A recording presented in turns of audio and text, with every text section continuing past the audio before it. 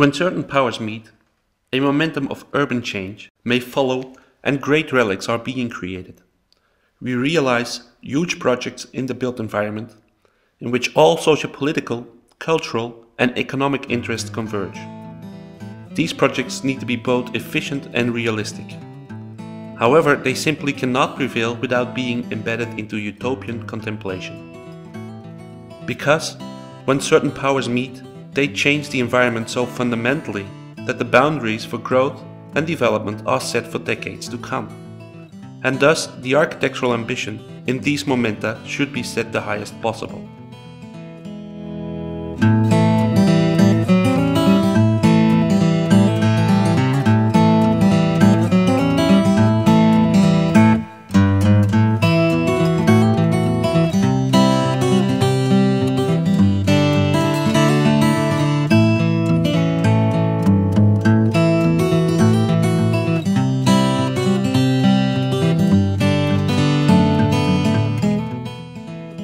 Today, I want to dramatize the priority of architectural ambition for the contemporary stadium typology.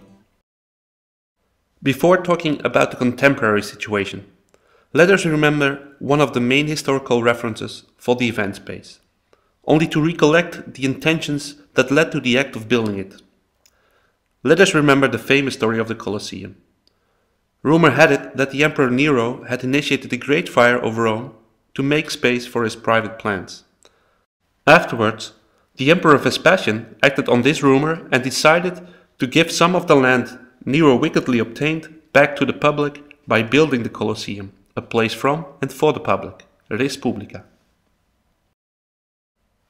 Now, let us inquire the contemporary event space that is a stadium, its single purpose character, the periodical emptiness, and the schism between the endorser and the community.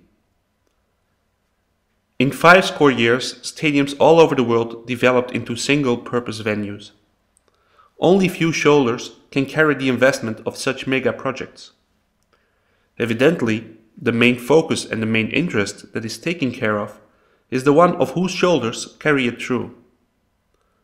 What once was Res Publica became private property. What kind of invention would trigger all concerned parties to think different about a new event space and could challenge them to look for a better symbiosis of res privata and res publica? What I propose today is to cut open the stadium typology and to change its infrastructure with architecture. This way, the stadium is primarily a city district that can be temporarily privatized for an event.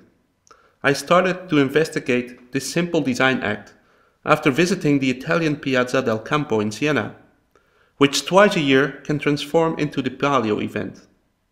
I realized that we should no longer try to build temporary lightweight infrastructure, but instead we have to replace the entire infrastructure with a cluster of city blocks. Consider, for example, the plan of the recently built iconic structure for the Olympic Games in Beijing. The stadium approximately measures 240 by 320 meters, which in size equals a cluster of 10 city blocks 80 by 80 meters arrayed in a rectangle around an urban court. Thus, instead of developing one mega building lot, we would develop 10 separate lots simultaneously. Each building would be separated from the next by an 8 meter street. These streets would virtually coincide with the accesses of a stadium. The only required architectural invention would be that these buildings need to have one facade towards the central square that is both a grandstand for spectators in case of an event and a qualitative shell that completes and contributes to the inside of the building. Typically, for these building blocks, multiple escape routes are required. If we upgrade the status of a secondary escape route to an architectural promenade along an inclined facade and we manage to control the axis where it meets the ground, we create a wonderful outside routing that can become a grandstand during an event. Furthermore, it allows us to develop very characteristic spaces that benefit from it. Imagine hotel rooms organized along the inclined facade. A motel-like situation would emerge where guests can watch an event from their hot tub and prefer to use the outside route to stroll down to the hotel restaurant. Or imagine that we are talking about offices and private condominiums along the inclined facade. During an event, the private terraces of meeting rooms or condos would turn into VIP loges. How to connect to specific socio-political, economic and cultural conditions. If one compares the Soccer City Stadium in Johannesburg with, for example, the design for the Antwerp Snake Arena or even the Allianz Arena in Munich, one might conclude they all look alike. Yet this is not a problem. The problem is that the ambition for the architecture is the same everywhere, while the socio-political, economical and cultural conditions might differ tremendously. For example, high on the political agenda for Antwerp are, among other things, schools, traffic management and housing. In recent political debates, it is often suggested that they should rather invest in schools than in a controversial stadium, that they first need to solve traffic and parking for the inner city before thinking about a new stadium, that they should invest in housing projects rather than to save up for a stadium. But why should we as a community choose between either a stadium or, for example, schools or park garages or housing?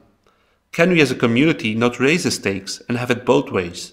It should not be either or, but both and. Once we cut open the stadium typology, it is easy to distribute several pieces to different concerned parties.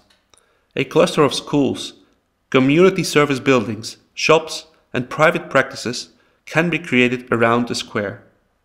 If each block of the cluster sits on a subterranean car park, the cluster will turn into a major transfer point to public transport rightly positioned at the edge of the historic city.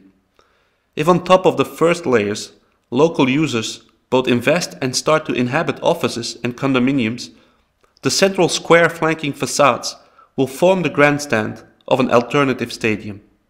And finally, the blocks can be finished with lightweight crowns that unify the cluster of city blocks and give to the whole the collective endeavor atmosphere and character that we associate with big event spaces.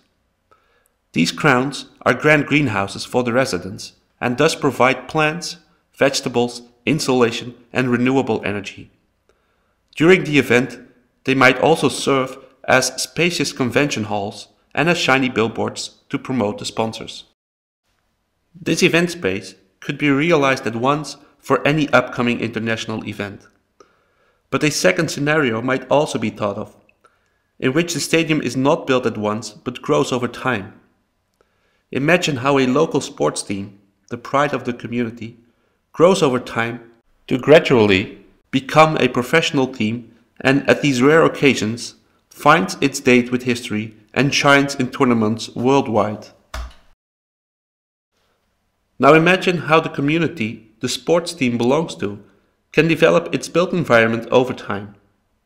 As it prioritizes, it must first build schools, houses, offices and shops, after which it can invest in extra infrastructure and gradually enlarge its hybrid buildings, densify and diversify the cluster until ultimately the cluster becomes a landmark that is a perfect setting to organize great event gatherings. I told my students to dream about such possible city districts that meet both the requirements of a temporary event space and the requirements of a city center with regular urban life. To conclude, when certain powers meet, we allow ourselves to construct mind-blowing exaltations of our prosperity.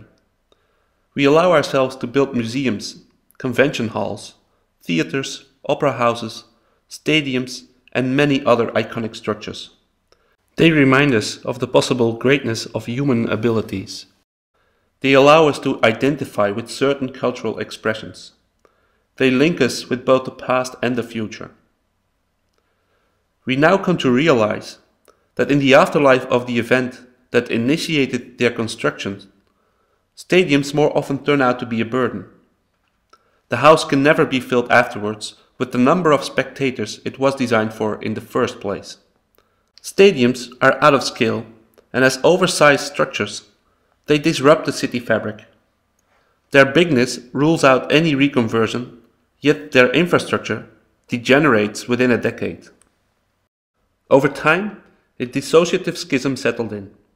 Stadiums no longer represented a cultural identity or community, but became a symbol of alienated powers.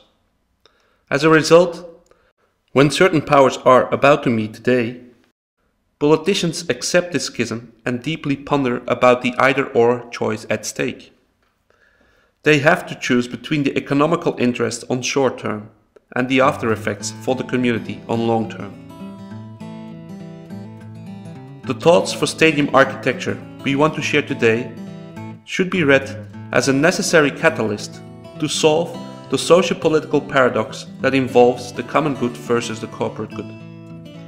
It provides all concerned parties, designers, planners, users, politicians, a third way of reading the problem and in that sense helps to overcome the oppositions.